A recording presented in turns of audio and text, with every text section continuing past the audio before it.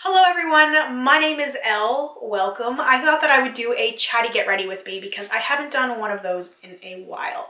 So I did paint on my brows and some of my base makeup primer, foundation, concealer, just to get it out of the way because I noticed that, let's say this was a foundation brush, if I'm talking and doing my foundation, I'll spend like 20 minutes just like circling blending in foundation for way too long. So I thought that I would just skip that part. It's kind of boring anyway. I want to do a look like this from Manny MUA. He did this purple, orange, white, beautiful eye look and I saw it on Instagram and I've been thinking about it and the more I think about makeup looks and want to create them, the more I know I just have to go ahead and play and even if it doesn't turn out like I want it to, it'll still be fun. So I thought that I would chat with you guys about some casual, low-key fun stuff. Music, movies, TV. Just to keep it light. I had filmed a Chatty Get Ready With Me not that long ago and I felt like I was so overwhelmingly negative. Just, I try not to be, but it seems to be my default sometimes and I really don't like that. So I'm gonna go in, I'm gonna use the Pastel Goth palette from Kat Von D and I'm going to use this yellow shade first. But yes, I, I, I felt like I was way too negative and as I've said, it's something that I sort of fall into, the whole negativity thing, because it's it's easy. It's honestly easier for me to be negative and think the worst of situations than to think the best. And I don't want to be that person. I want to think positively, but it's hard sometimes. So I thought that I would, instead of dwelling on some of those negative topics, that I would talk about some fun things. So I do have notes because I'm the worst person if I don't have notes. I get so off track. So let's start with something easy. I know I'll forget things anyway, even though I did try and write down some decent notes. I thought I'd talk about music because music is a big thing for me. I talk about music all the time, but I tend to talk about like the same thing because I have one clear, overwhelming favorite. I don't know if you could tell. But I have one overwhelming favorite when it comes to music, and I thought that I would mention some other things that I like as well, because sometimes I'm having conversations with people and they're like, oh, I like so-and-so. I'm like, I do too. And it's like, really? Because you've never mentioned them before. One of my big favorites I have that is not Fleetwood Mac is Billy Joel. If you think I'm a person who likes classic rock music, I am. sure it's not that hard to imagine. I'm to use the Zulu palette from Juvia's Place. This finally arrived. It was a nightmare getting my hands on this thing. I played with it a little bit and so far I really like it. And the pans are huge. Massive eyeshadow pans. Just ridiculously massive. Um, but yes, Billy Joel. I really love Billy Joel. Billy Joel, one of my absolute favorite songwriters of all time. Um, I decided to add a couple of other records to my wall. Like I have Fleetwood Mac, Stevie Nicks, but then I wanted to add some other things in there because um, I just wanted to be more representative of, of myself. When I had my records before, because I went through a couple phases fixing out my background and stuff, and I had records on my wall before, and I did have some, I think mostly Jackson Browne, which I do have running on empty up there. But I have uh, Street Life Serenade from Billy Joel back there because I like the album cover. I was trying to find stuff that would fit in well, sort of with my background theme, and I thought that one would work. I think I have every Billy Joel album though. I couldn't find Cold Spring Harbor, which is my favorite album, and I know I have that one because I tracked it down. It's one of those things that I spent so long looking for. It's his first studio solo album, and it's widely panned, but I really love it so much. I tend to love the things that other people don't love. tends to be what I what I do, but um, Cold Spring Harbor is definitely an album I would suggest more people listen to because it has some beautiful songs on there and just some really raw songs on there. Uh, some of my other favorite Billy Joel songs, um, Summer Highland Falls. That was like the opening song or the second song he played when I saw him live a couple of years ago and I just bawled. I just cried my eyes out. I was so surprised he was going to sing that song and it was so beautiful. I love the lyrics in that song. The thing with with my love for Billy Joel is that he's such a lyricist and I just connect to that so much more than I do to other things, which is why I keep going back to him. Um, the song James I really love. There's some really good advice in that song. Um, God, there was another song I was just thinking of. Oh, Vienna, which is one of the songs I think most people know, even if they don't really think they like Billy Joel or, or they claim not to like Billy Joel, but everybody I think has seen uh, 13 going on 30 and that song is featured in there. I know so many people who love that song. I also love Jackson Browne as I briefly mentioned, because of the album cover I have back there running on empty, probably his most famous album.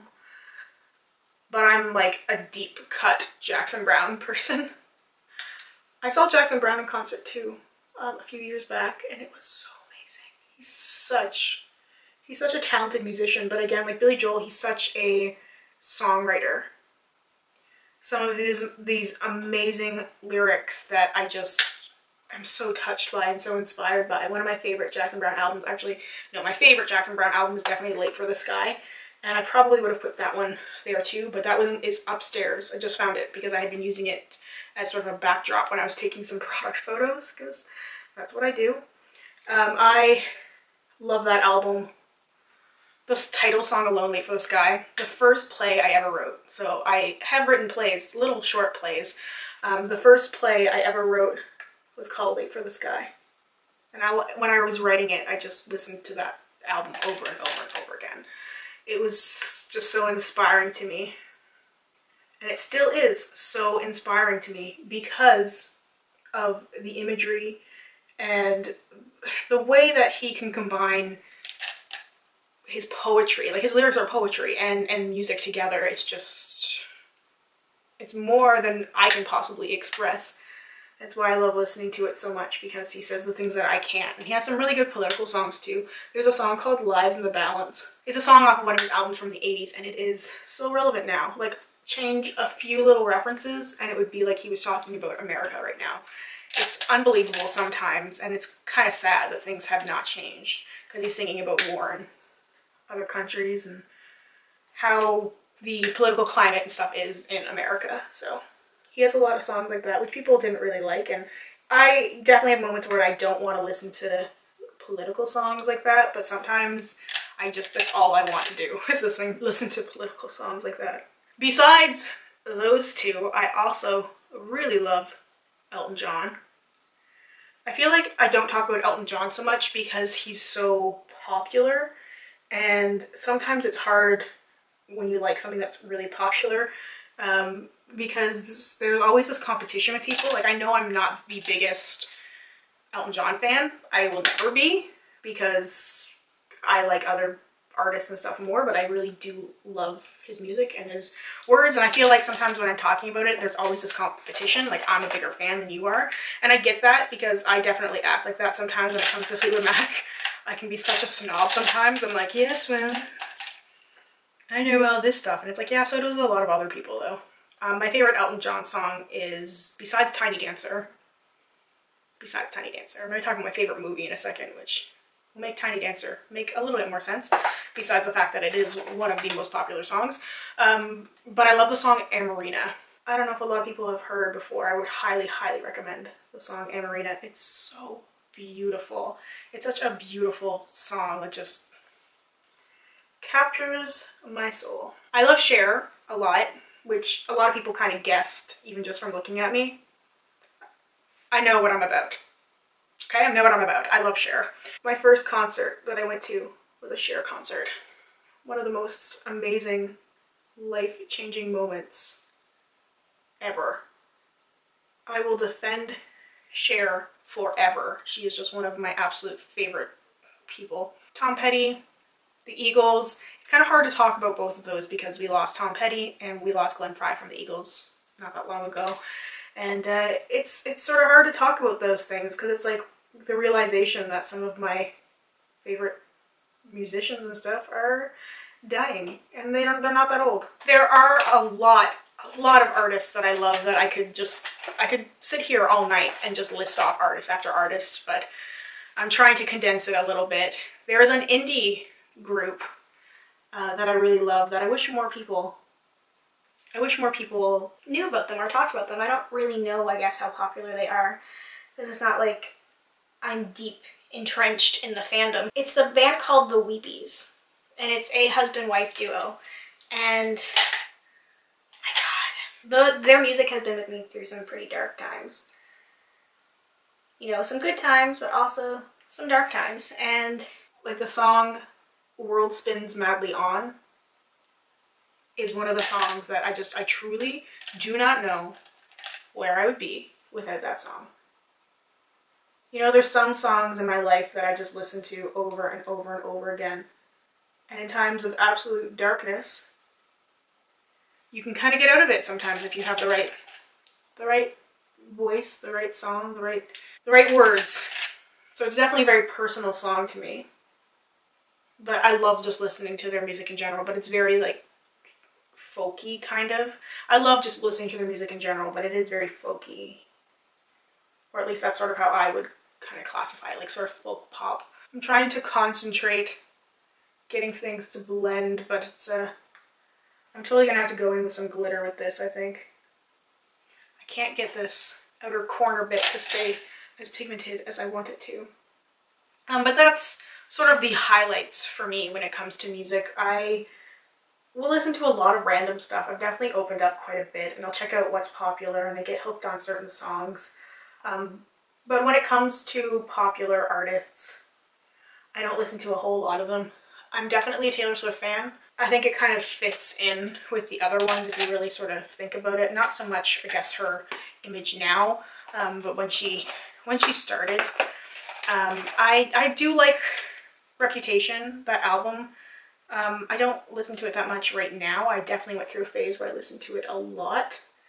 And Kesha's Rainbow. Those are two modern things that I definitely listen to a lot and feel very empowered listening to. I've been listening to some of the suggestions that you guys left me. I've been listening to some of those things, which has been really fun because I like to get a glimpse inside other people's heads and I feel like music's a really good way to do that because music says a lot.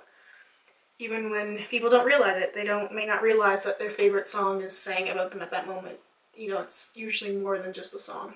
I'll move on now to movies, and honestly, I have pretty basic taste when it comes to movies. Don't get me wrong, I love good cinematography sometimes. I love really good scripts. I love those sort of Oscar nominated movies. It's not like a repeat watch for me, and that tends to make a difference to me whether or not a film is a favorite film or not because I like to be able to watch something over and over and over again and sometimes certain things just don't stick with me like others. Now my absolute favorite movie of all time is an Oscar winner. It's Almost Famous. Honestly, this look is turning out to be such a hot mess, but I don't even care because I'm having so much fun talking with you guys. I'll fix it with lashes and glitter. Um, but Almost Famous is my favorite movie, favorite movie of all time. Um, for those of you who may not know, I have a son. His name is William. He's two and a little bit. And he was 100% named because of William from Almost Famous. 100%. I always knew if I ever had a boy, I would name him William because of that movie, because of that character. So there you go. That's how much I love that movie. Um, I've seen it more times than I could possibly count, honestly. Uh, I probably know the entire script by heart. I love the soundtrack. It's very music based, of course. For those of you who don't know about the movie and what it's about, it's about a young boy, William, who follows a fictional band across the US on tour to interview them and it's got sort of like a a tiny bit of a mockumentary feel, but it's not it's not set up that way. But you really get like the sort of life of the rock star and the the young the young boy sort of experiencing life for the the first time outside of the reach of his protective or overprotective mother. It's set in the early 70s, so it's got hits all those notes for me. All the things that I really love all the things that I really love about about everything um, because I'm kind of kind of a little bit stuck in the 70s. and it has Kate Hudson in it, who I love. So overall, it's just a huge, huge win-win for me. That's a movie that I could definitely just, I could go for watching that right now, actually. I would love to go watch Almost Famous. I have this glitter in front of me, Grind. I'm gonna see if I can save this. I'm gonna stick with it now, but I might see if I can find a different glitter. I'm so awkward when I do videos like this. It's like I forget what I'm doing entirely. I'm just like, how do I put makeup on my face? I cannot recall. My list of favorite movies is actually quite small. Um, I'm not really that big of a movie watcher. I'm definitely more of a TV person. Um, but I also really love You're All Gonna Judge Me. Burlesque. Yes, the movie with Christina Aguilera and Cher. I love Christina Aguilera. I don't even care. Fight me. I love her. And I love that movie because it has all those good things. It has like the underdog story, which I'm a sucker for. It has music, it has dance, it has Stanley Tucci and Cher. What else does a person need in a movie? Oh wait, I can think about that for a moment, but for me that's really all I need. Why won't you blend? So mad at this. Won't blend. I had high hopes for this. This was like, it seemed like it was gonna work. And now it's just not. It's not, not blending for me at all. Anyway, um, I also really, really love The Devil Wears Prada. It's totally because of Stanley Tucci, but also because Meryl Streep. And actually, I love Emily Blunt and Anne Hathaway too. It's just all around really good cast, and I love the plot. Again, you sort of have the underdog story there. tends to be a theme with me. I love fashion and makeup, and there was a point in my life where I thought that I would work at a magazine. I didn't realize it was like that difficult. You kind of get this idea sometimes growing up reading magazines and you think it's going to be easy, but like as a Canadian who lives in a very small, small part of Canada, there's no magazines here. I don't think there's really very many major magazines in Canada in general, like fashion magazines. There's like one I can think of, and it's Elle. And to be a Canadian and trying to like move to the US for profession, there's so many hoops you have to jump through and so many things that it's just like most companies and stuff will not will not waste their time because you basically have to prove that you are more qualified than an American to get the American job. So that's it for movies that I can think of right now. I'm sure once I'm editing this, I'll be like, oh yeah, I forgot all about this one. Okay, so from far away, I was looking at it super up close, and from far away it doesn't look bad. It doesn't look as blended as I wanted it to look, but it doesn't look bad. I need some other glitter though. That was almost traumatizing. I did not know what happened to Midnight Cowboy, because that's definitely what I need here, some gold. I've been using this Natasha Denona highlighter um, as a mirror because I really like the size of the mirror. But I'm going to show you guys some pan porn.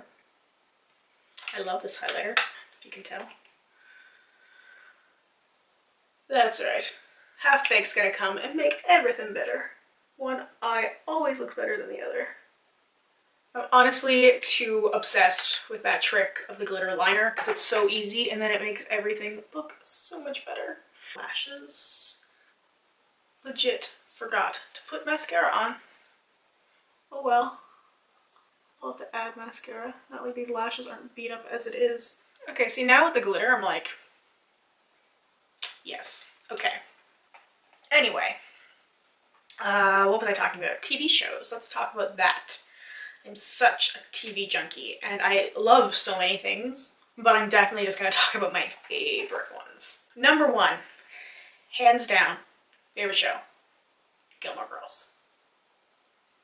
I'm rewatching it again for like the 10,000th time. Perhaps that might be a little bit of an...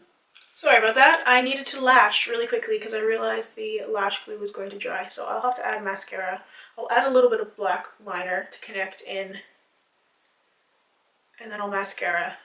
And that should take away some of the weirdness. But I'm going to wait till everything fully dries before I try and tackle that because Otherwise I'll end up moving the, uh, moving the lashes all around. So we'll deal with it looking a little weird for a moment. I'm going to use the um, Anastasia Aurora Glow Kit for some glow. Maybe this. Ooh, no. Something bright orangey, maybe. Orange and purple. Do a gradient of highlighters. I hate that there's no mirror in here. That's like the one downside with these glow kits. No mirror. So sad. Um, Gilmore Girls, as I was saying, as I got interrupted by my lashes. Favorite show. Watching it again. I'm on episode 15 or something of season one when it's nighttime and I'm too tired to do much of anything, but I can't get my mind to shut off. I watch Netflix, and I love that Gilmore Girls is on Netflix. Not super crazy about the reboot. Definitely did not watch that very much. It took a long time for me to get back into watching the show after the reboot because I'm glad we got more Gilmore, basically. I like that we got a little hint into the life, although parts of it I did not care for, but I will not go about that in case you have not seen it yet and you would like to. I do not like to spoil it for you. Besides Gilmore Girls, I love Roseanne. I wish, I should have dug it out. I have a display upstairs of all the seasons, the box sets of Roseanne, because I have all of them. I cannot get over that show. I've watched it so many times and they're bringing it back. And I cried when they announced it. I'll cry when I watch it. It's like I cried when I watched Will and Grace when they brought that back. Like I cried the first time, I, like the new, the new season, the first episode, I cried. Full on, ball, ugly tears, just cried. Because I love that show. That's also one of my favorite shows that I've watched over and over and over and over again so many times. I just, it was such a big part of my life. Like Roseanne was definitely a huge part of my life. Gilmore Girls was a part of my life when I was younger. Roseanne was a big part of my life. And I'm so excited for the new season. So excited, so excited, so excited. I can't even put it into words how excited I am for a new Roseanne. Because it's definitely one of the best shows of all time. And little known fact, the, hold on, before I get back, I'll get back to you on the fact. All right, I am back. I mascaraed and added black liner there. So we're looking better. We're looking a little bit more put together now. I use my Anastasia little blush kit. bought this from the sale section. One of the best things I ever purchased. Anyway, back to Roseanne, my little known fact. It's actually more of like a six degrees of separation kind of thing. Um, Amy Sherman Palladino, the creator of Gilmore Girls, actually got her big break on Roseanne and she was part of the creative team.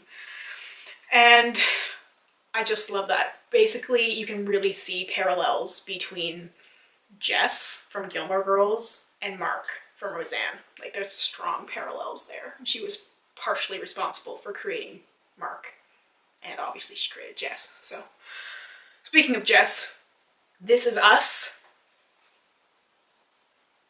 Where did that show come from? So good. It's so cheesy sometimes, but I love it. I can definitely make connections to everything. It's a special skill. I swear, I could make a connection to Roseanne, to your favorite TV show in less than six people. Probably three. I could probably do it in three. One of my favorite things to do has always been Six Degrees of Separation. Like, who is that person that connects you to somebody else? I love that movie. I love that play. Stockard Channing was a huge obsession of mine through high school, and I think I watched her entire filmography. But one of the standards for me definitely has to be Six Degrees of Separation, which is this amazing film. Highly recommend. Um, do not talk and apply lip liner. But Stockard Channing's in it. Actually, Kelly Bishop, Emily from Gilmore Girls, is in it because she played that character on Broadway, the one that Stockard Channing played in the movie. Wow, I am full fandoming out now. I haven't been in touch with this part of myself in a while, and it feels kind of weird, but also amazing. Anyway, Will Smith is also in that movie, and Donald Sutherland.